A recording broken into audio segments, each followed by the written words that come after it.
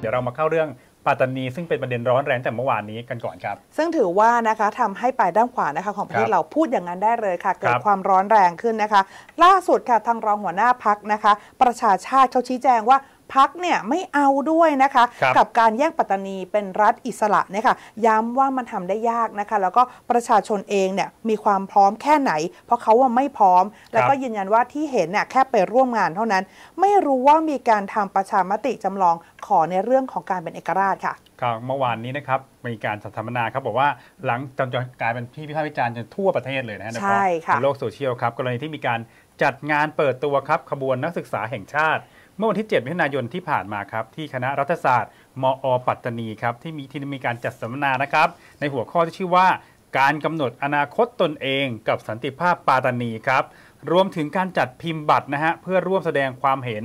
ผ่านสื่อโซเชียลมีเดียครับในประเด็นเรื่องเกี่ยวกับว่า ให้ประชาชนปาตานีครับสามารถออกเสียงประชามติแยกตัวเป็นเอกราชได้อย่างถูกกฎหมายครับ จนล่าสุดประเด็นนี้ครับกลายเป็นเรื่องที่ทางหน่วยงานความมั่นคงทางทหารครับในพื้นที่นะคือกองอำนวยการรักษาความมั่นคงภายในภาค 4 ส่วนหน้าหรือกอรมนภาค 4สอนอนะครับได้เข้าทำการตรวจสอบการจัดงานดังกล่าวครับโดยมีการออกเอกสารข่าวว่าเจ้าหน้าที่เนี่ยอยู่ระหว่างการรวบรวมพยานหลักฐาน และตรวจสอบพฤติกรรมของผู้ที่มีส่วนเกี่ยวข้องกับกิจกรรมในครั้งนี้ครับ เพื่อดำเนินการตามอำนาจหน้าที่แล้วก็ได้กำหนดไว้ตามอย่างให้เกิดความเหมาะสมต่อไปนะครับค่ะเดี๋ยวเราไปฟังเสียงนะครับพลตรีปราโมทพรหมอินทร์ครับโฆษกกอรมนภาค4ครับเชิญค่ะถือว่าเป็นประเด็นที่ท้าทายต่อหลักกฎหมาย แล้วก็ท้าทายต่อหน่วยงานด้านความมั่นคง โดยเฉพาะความรู้สึกของ พี่น้องประชาชนอย่างกว้างขวางนะครับ ซึ่งภายหลังทราบเหตุนะครับ ท่านแม่ทัพภาคที่สี่พลโทสันติสกุลตนาถท่านก็ได้มีการสั่งการ ให้ทำการตรวจสอบข้อเท็จจริง รวมทั้งมีการตรวจสอบพฤติกรรมเชิงลึกครับอย่างรอบด้านอย่างละเอียดนะครับอ่าโดยเราพบว่ากระบวนการนักศึกษาแห่งชาตินะครับจริงแล้วเป็นกระบวนการที่ ที่ไม่ได้เพิ่งเกิดนะครับจริงจริงๆแล้วมีมาก่อนหน้านี้อยู่แล้ว ซึ่งที่ผ่านมากระบวนการนี้ ถือว่าเป็นกระบวนการที่เป็นการรวมกลุ่มของนิสิตนักศึกษา ไม่ใช่ใช่ชื่อนี้เป็นชื่อนี้ครับเป็นชื่ออื่น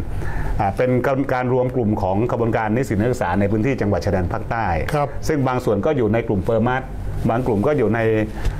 กลุ่มเดอะปัตตานี และครับอีกหลาย ๆ องค์กรที่เคลื่อนไหวอยู่ในพื้นที่จังหวัดชายแดนภาคใต้และเขาพยายามที่จะชูประเด็นในเรื่องของ right to self determination หรือการกำ ISD สิทธิในการกำหนดใจตัวเองครับนะครับเพราะฉะนั้นถ้าเราย้อนกลับไปดูการเคลื่อนไหวในช่วงก่อนหน้านี้อ่าหลายปี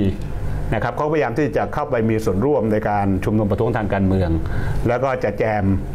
จะเคลมเรื่องนี้เข้าไปด้วยนะครับอืมโดยที่ครับพี่น้องชาวไทยทั้งประเทศไม่ทราบ หรือแม้กระทั่งกลุ่มที่เคลื่อนไหวทางการเมืองที่กรุงเทพมหานคร ก็ไม่ทราบว่าคำว่า right to self determination คืออะไรนะครับจริงๆเรื่องนี้มันไม่ใช่ไม่ไม่ได้เป็นเรื่องใหม่ ในเรื่องของการสิทธิในการกำหนดใจตัวเองมันมีมานานแล้วนะครับ มีมาตั้งแต่ปี 1960 มันเป็นไปตามสมัชชาของสหประชาชาติ ที่ได้มีการลงมติที่เราเรียกว่าเป็นมติ 1514 ครับ ปี 1960 ซึ่งเจตนาของมติฉบับนั้น จริงๆแล้วเป็นมติที่ประเทศไทยเข้าเป็นเข้าไปเป็นภาคีสมาชิกด้วย ทีนี้ในการเป็นภาคีสมาชิกของประเทศไทยนะครับ ก็คือยอมรับเงื่อนไขของสิทธิในการกำหนดใจตัวเอง แต่เราได้มีข้อสงวนไว้ที่สำคัญมาก ๆ ก็คือในเรื่องของข้อสงวนก็คือไม่รวมถึงในเรื่องของการแบ่งแยกดินแดนครับ แบ่งแยกประเทศออกจากประเทศไทยนะครับ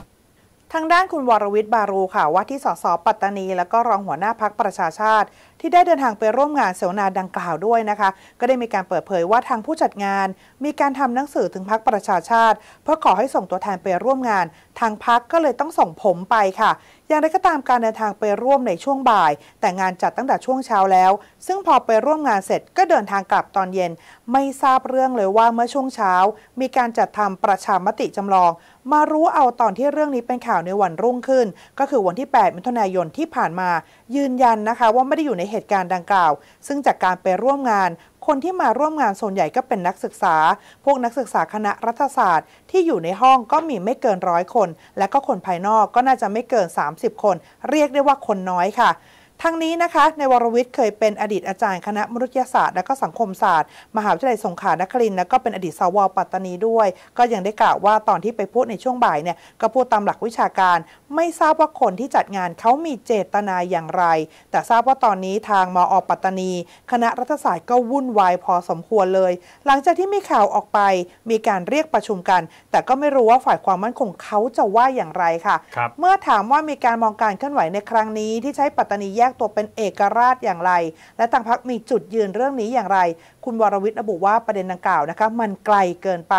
ผมก็ต้องบอกตอนไปร่วมงานว่า การกำหนดอนาคตตัวเองก็เป็นกระบวนการสันติวิธี แต่ไม่ใช่ว่าจะทำได้ง่าย ๆ เพราะไม่เหมือนกรณีของติมอร์มองว่ามันเป็นความพยายามของคนกลุ่มหนึ่ง ก็จะไปบวกกับทางฝ่ายพักเป็นธรรม ครับ ขณะที่คุณนันทิวัฒน์สามารถครับเลขานุการคณะรัฐมนตรีว่าการกระทรวงการต่างประเทศครับและถ้าเป็นฐานะ อดีตรองผู้อำนวยการสำนักข่าวกองแห่งชาติครับมีการโพสต์ข้อความใน Facebook ส่วนตัวครับ สรุปใจความว่านะครับ เป็นการเตือนพักการเมืองที่หนุนแบ่งแยกดินแดนนะ ถือเป็นกบฏกบฏนะครับในราชอาณาจักร เนื่องจากรัฐธรรมนูญแห่งราชอาณาจักรไทยทุกฉบับนะครับ บัญญัติไว้ชัดเจนว่าประเทศไทยครับ เป็นรัฐอันหนึ่งอันเดียวกันแบ่งแยกไม่ได้